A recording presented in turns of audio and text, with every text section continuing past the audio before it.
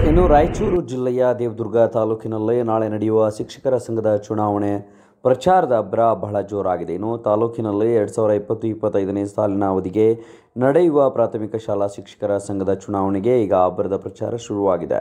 ಇತ್ತ ಕಣದಲ್ಲೇ ಸುಮಾರು ಮೂವತ್ತೇಳು ಜನ ಇದ್ದು, ಇತ್ತ ಎರಡು ಪೆನಲ್ ನಡುವೆ ಪೈಪೋಟಿ ಹೆಚ್ಚಾಗಿದೆ. ಸಾಮಾನ್ಯ ಕ್ಷೇತ್ರದಿಂದ ಹನ್ನೆರಡು ಜನ ಆದರೆ ಮಹಿಳಾ ಮೀಸಲಾತಿ ಆರು ಜನ ಆಗಿದ್ದಾರೆ. ಇತ್ತ ಹದಿನಾರು ಜನ ಒಂದೇ ಬಣದಲ್ಲಿ ಇದ್ದದ್ದು. ಇತ್ತ ಗಂಗಾರೆಡ್ಡಿ ಎಂಬ ಶಿಕ್ಷಕನ ವಿರುದ್ಧ ಐ ಪಿ ಸಿ ಸೆಕ್ಷನ್ ಮುನ್ನೂರ ಇಪ್ಪತ್ನಾಲ್ಕು, ಮುನ್ನೂರ ಐವತ್ನಾಲ್ಕು ಹಾಗೂ ಐದುನೂರ ನಾಲ್ಕು ಮತ್ತು ಐದುನೂರ ಆರರ ಅಡಿಯಲ್ಲಿ ಪ್ರಕರಣ ದಾಖಲಾಗಿದ್ದು, ಇತ್ತ ಗಂಗಾರೆಡ್ಡಿ ಮೇಲೆ ಮಹಿಳಾ ಶಿಕ್ಷಕಿಯರು ಆರೋಪವನ್ನು ಮಾಡಿದ್ದಾರೆ. ಇತ್ತ ತನ್ನ ಸ್ವಾರ್ಥಕ್ಕಾಗಿ ಸಂಘವನ್ನು ಬಳಸಿಕೊಂಡಿದ್ದಾನೆ.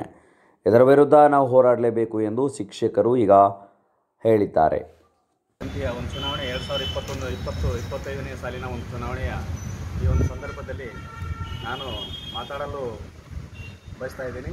ಯಾಕಂದರೆ ಈ ಒಂದು ಪೆನಲ್ ನನಗೆ ತುಂಬ ಈರ್ಷ್ಯತೆ ಯಾಕಪ್ಪ ಅಂತಂದರೆ ಇದರಲ್ಲಿ ಸಾಮಾಜಿಕವಾಗಿ ಎಲ್ಲ ವರ್ಗಗಳನ್ನು ಏನಪ್ಪ ಅಂದರೆ ಈ ಒಂದು ಪೆನಲ್ನಲ್ಲಿ ಕೂಡ ಗುರ್ಸಿಕೊಂಡಿರೋದ್ರಿಂದ ಭಾಳ ತುಂಬ ನನಗೆ ಸಂತೋಷ ಆಗಿದೆ.